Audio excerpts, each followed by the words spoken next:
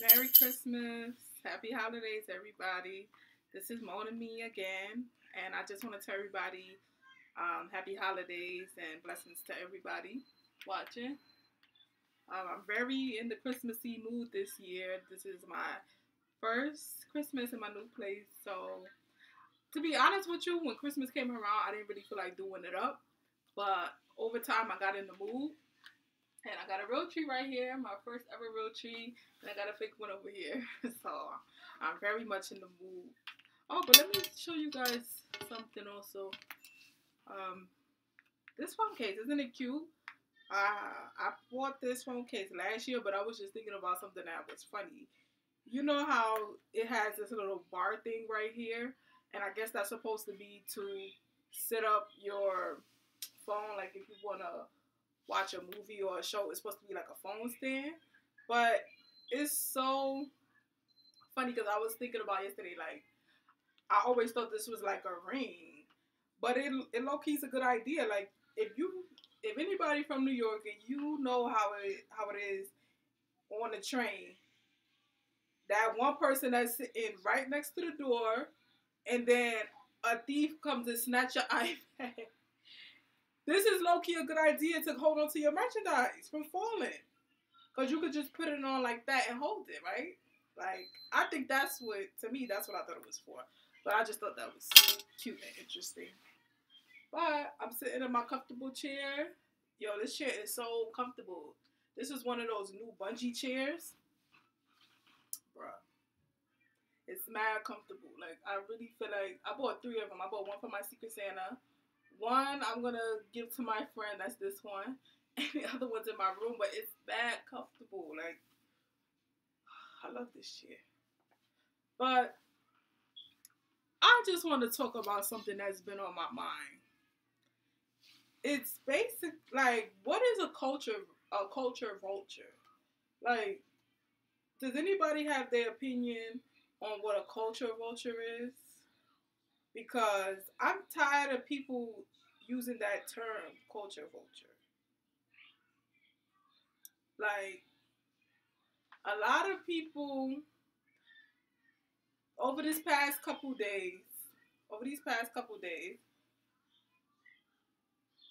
Drake went to Jamaica for Christmas or for around the Christmas holiday.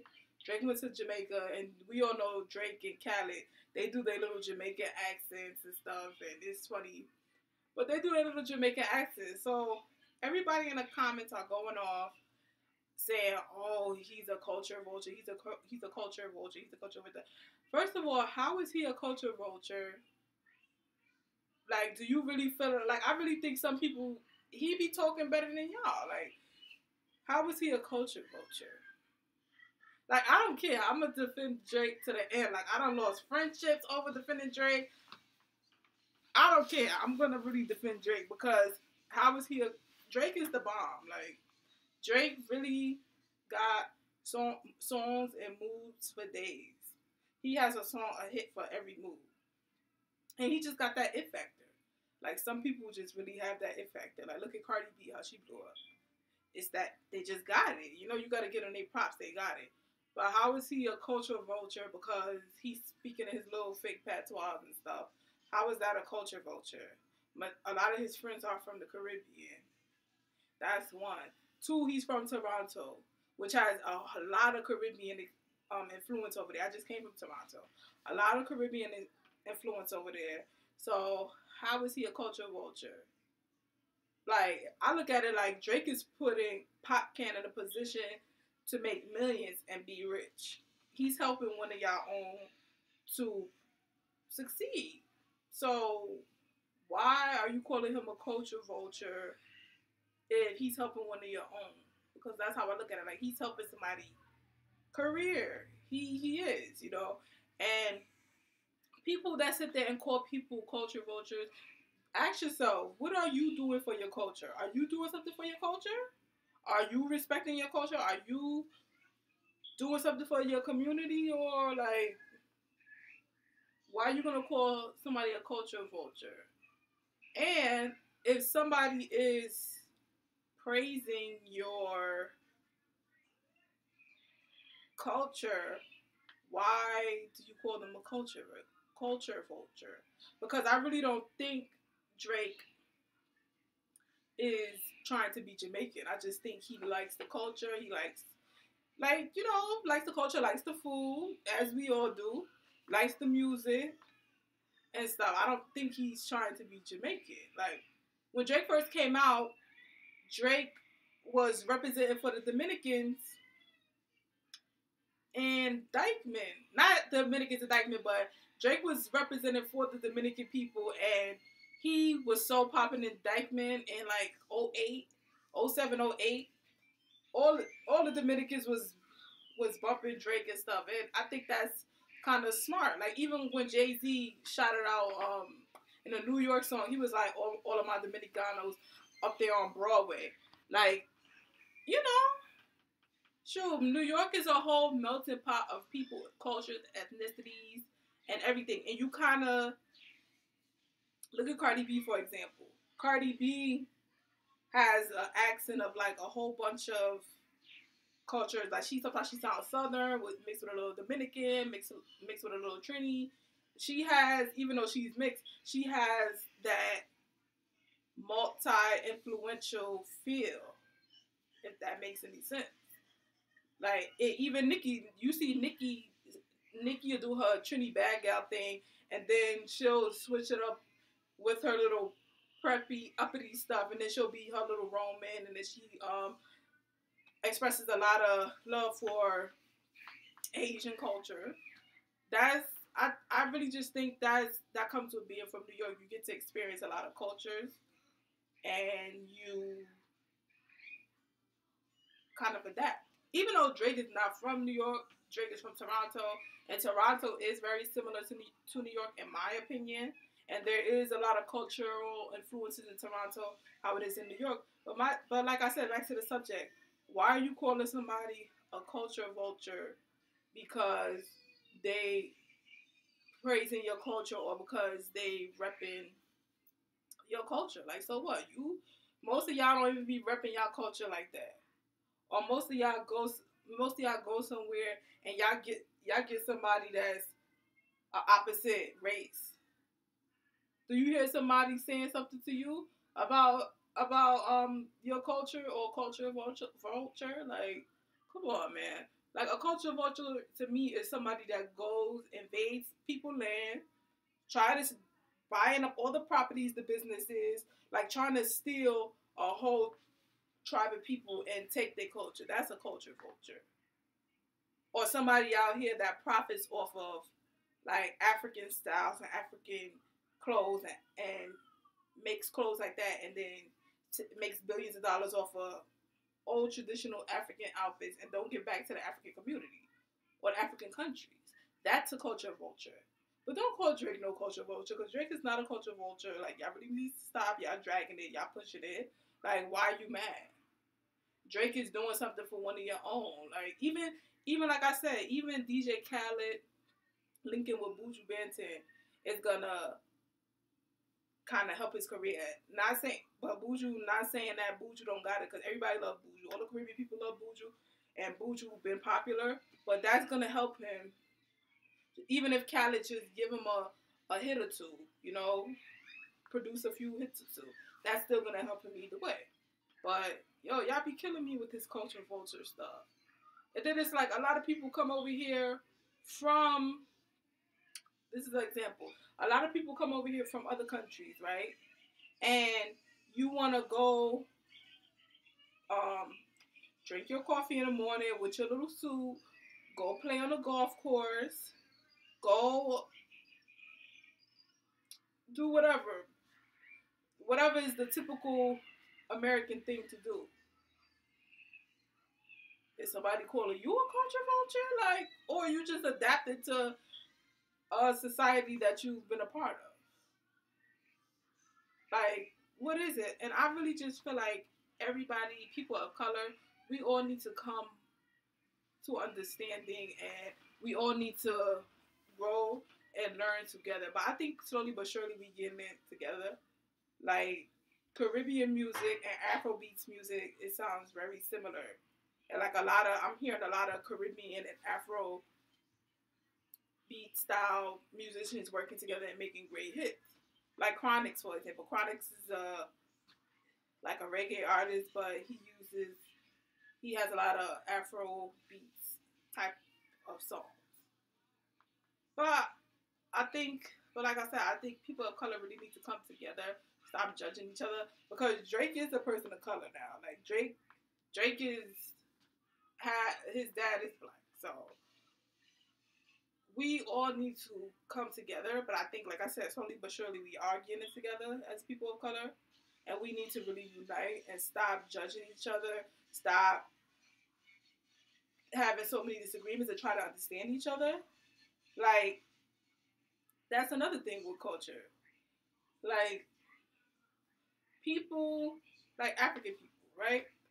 So African people and Black Americans really don't get along. Like we don't get along with each other, and we all probably, we all not probably, we all came from the same place.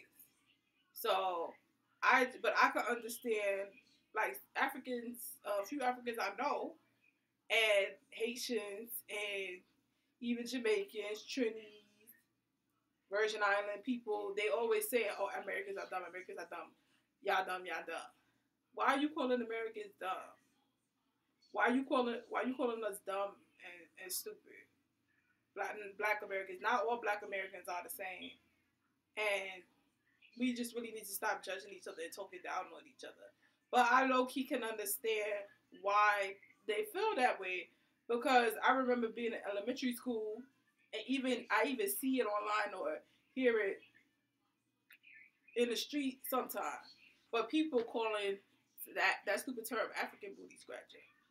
Whoever who knows how long that that insulting term has been about. But maybe they feel like, okay, y'all looking down on me. I'm gonna look. I'm gonna talk about you. You talk about me. I'm gonna talk about you. And it's just an ongoing back and forth thing. Like we all just need to stop, and we all need to come together, and we all need to unite. And I, I think we're gonna get it together slowly but surely. But I just wanted to really express my opinions about culture vulture, that term. Like, stop using it so loosely.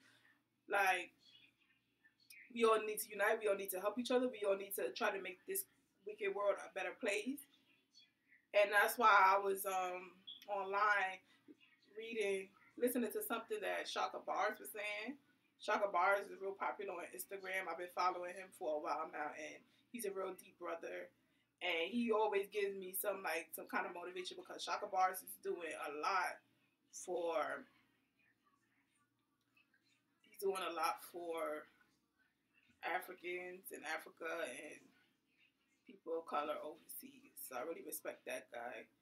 And a lot of the times there be people that's not even from where you from and they doing more for your community community than you doing. Shaka Bar is from what the UK or London and he's in Africa, he's in the Congo, he's everywhere helping out, making the world a better place. Even his friend, Omega Axel, I follow him too, another deep brother on Instagram. And even he's doing a lot of stuff about educated black people. And Omega's not even full black. Omega's like Drake, half white, half black. So it's like, stop calling somebody a culture vulture. What are you doing for your culture? What are you doing to protect your culture? What are you doing to praise your culture? Like, don't don't throw stones if you have a house made of glass. Like, I'm just tired. I'm just so sick of the judgment. Like, I know I'm probably all over with this video, but I just really wanted to express my mind, my thoughts, and my feelings about that.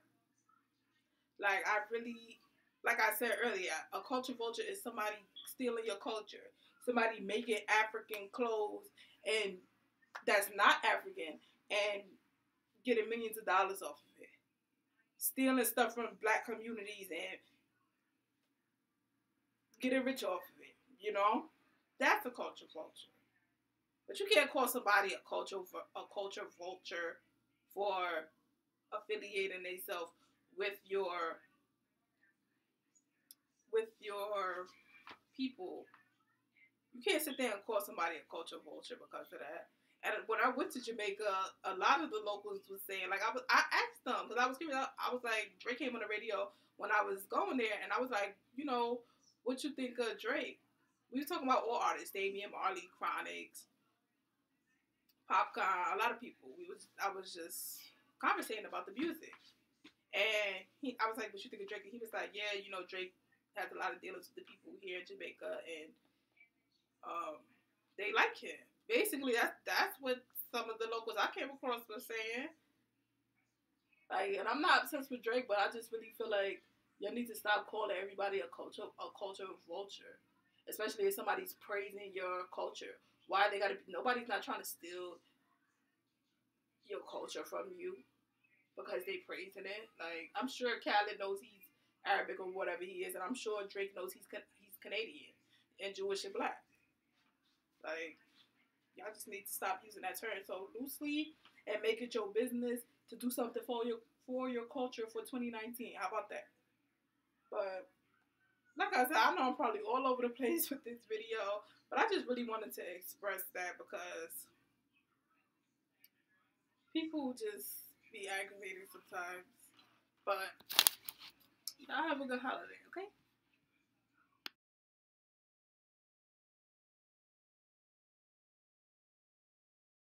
Yeah, and one more thing. So when I was watching the Bob Marley documentary, in the documentary, do you know what they said? They said that Bob Marley didn't want to go back to Jamaica after I forgot what the name of the concert was, but it was a concert that he had and they shot at him.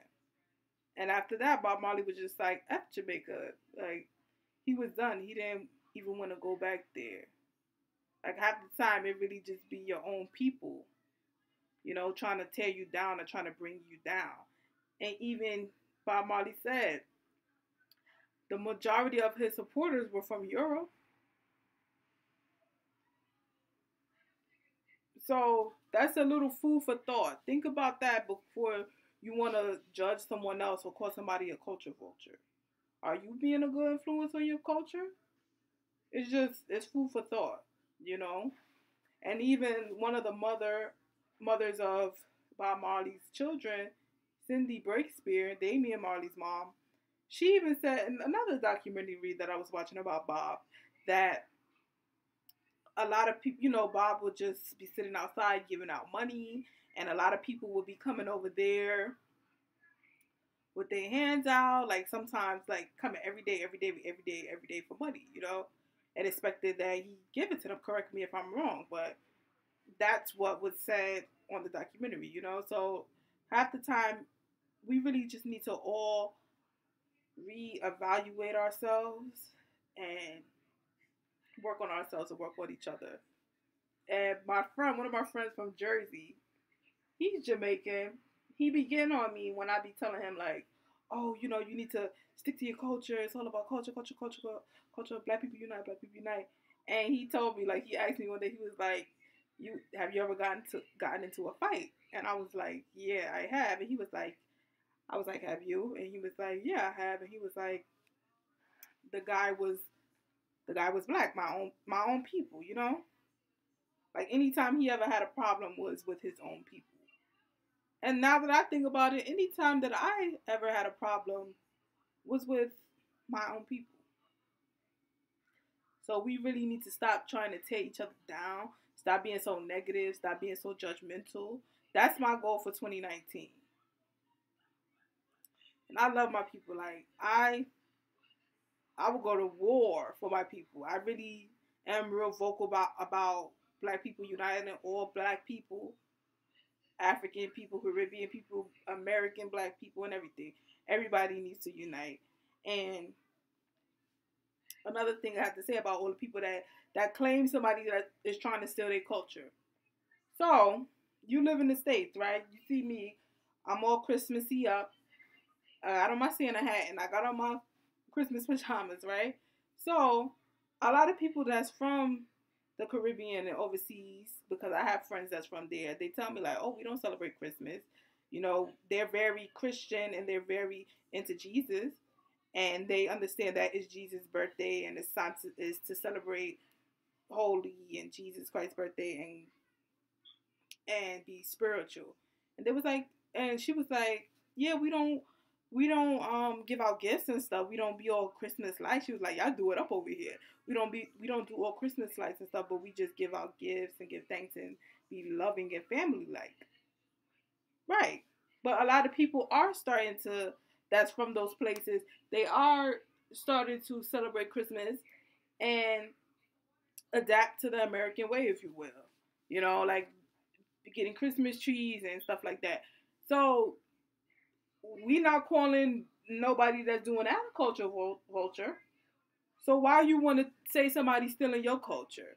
You we all adapt to our circumstances, if you will. We all adapt and emulate some type of somebody's culture. E- either way, if I get a hairstyle that's that's bone straight Brazilian, not Brazilian, but bone straight whatever hair, I might look a little bit more like something else. We all emulate and take stuff from people's cultures. So don't sit here and be so judgmental about a culture vulture. But I'm done. I'm done wasting my opinion. If you have an opinion or if you disagree or whatever, you can feel free to comment. But I just really wanted to voice that because we all we all take a little bit. We all give and take a little bit of people's culture. So we all just need to stop being so judgmental and all unite as one. And that's all I really had don't know one more thing. One more thing. I'm so sorry. I don't keep saying that. But one more thing. So um this guy I follow on Facebook, he has this organization called One Brigade or something like that. I'm not 100% sure what it is. But basically, he brings bikes to the children of Jamaica. And I just think that's the sweetest thing because it's all about the children. It's all about making them happy, you know? And I just think that's an awesome thing to do. Like, it's something that you wouldn't even think of because a lot of people, they want to, you know, donate clothes, food, stuff like that. But this man brings bicycles, like literally truckloads of bicycles to Jamaica. So I posted it because on my snap because I thought that was just so amazing and so loving. And the guy the Jamaican guy replies like, "Hey, big ups to him, but the kids of Jamaica they don't need bikes." So I'm like, "So what do they need?" And he he didn't have an answer for me. They need love. Everybody needs love. It's all about love. You know what I'm saying? Don't sit here and, and say, "Oh, oh, they don't need bikes. They don't." Or you trashing what somebody else is doing. What you doing? That's what I should have said to him. What are you doing? You know, that's just food for thought, though. Like, that's just food for thought. But I'm to finish enjoying my holiday. And y'all have a good holiday in New Year. Bye bye.